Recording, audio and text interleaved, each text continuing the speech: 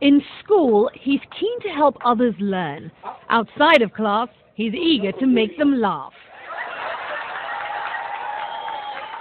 26-year-old schoolteacher Herbert Segujja is also one of Kampala's rising comedians. He's built a following with his comic impersonations. I started from mimicking other people. That's when I got the talent of mimicking.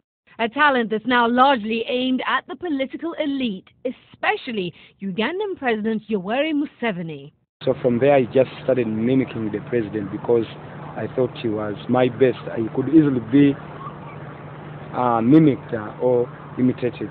From the expressions and voice. I'm not chairman. Thank you. To the stance and clothing, Segujja became well versed in all things Museveni. He has got uh, unique trademarks. For example, uh, uses his hat as the president. He uses his hat. Then he has got this. He has got uh, uh, some bit of stammering when he's speaking to people. Then he has got the trademark of having this hand at this side.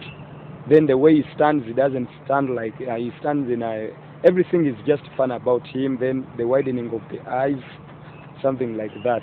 Then the use of mannerisms. Funny business that he takes very seriously.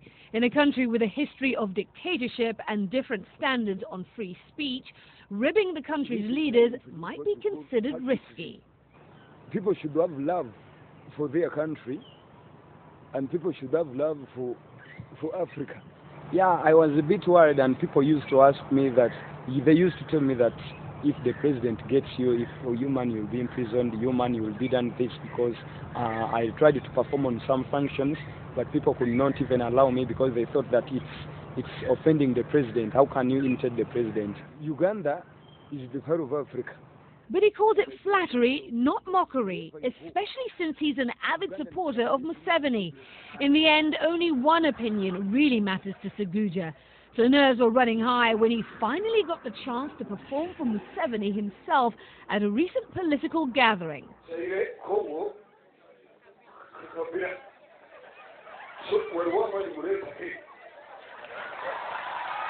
The president was so amused he had to wipe away tears from laughing so hard.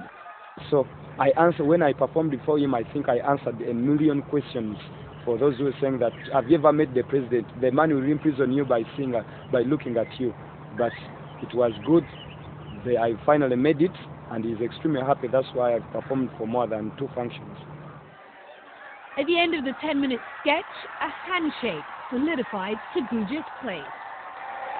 He's in demand now across Kampala, collecting nearly $900 a month to perform his famous impressions, including new acts that mimic Zimbabwean President Robert Mugabe and US President Barack Obama. A passion Segujja hopes to take far, imitating others and finding his own success.